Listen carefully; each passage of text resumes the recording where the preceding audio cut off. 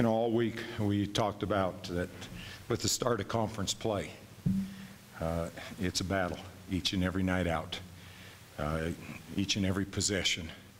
Nobody goes away, and uh, the competitive level really steps up. And I thought that was very evident in tonight's game.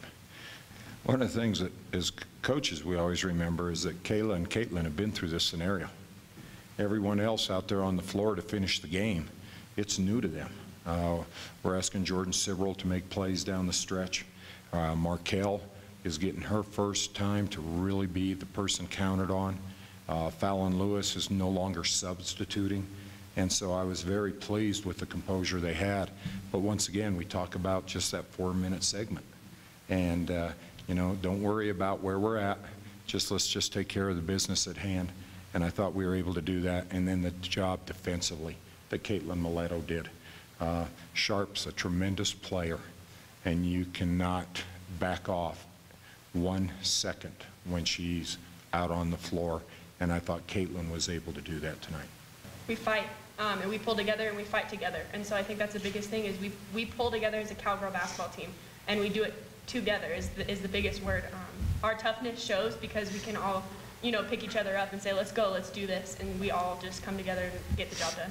Um, I think so. I mean, all week we worked on in practice was like, it's pretty much like a switching defense with her standing in the middle, so we had to change up our cuts, but I think we did a really good job with that.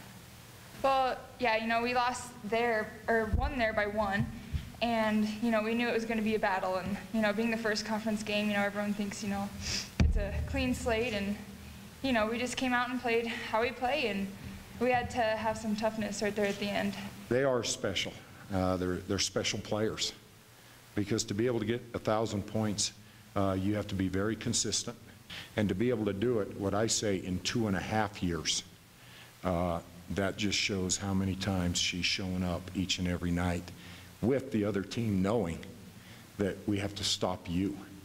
I don't know, it was, it's really cool, and, you know, couldn't do it without these guys, you know, they passed me the ball, so, I don't know, it, was pretty cool to spend it with these guys, too.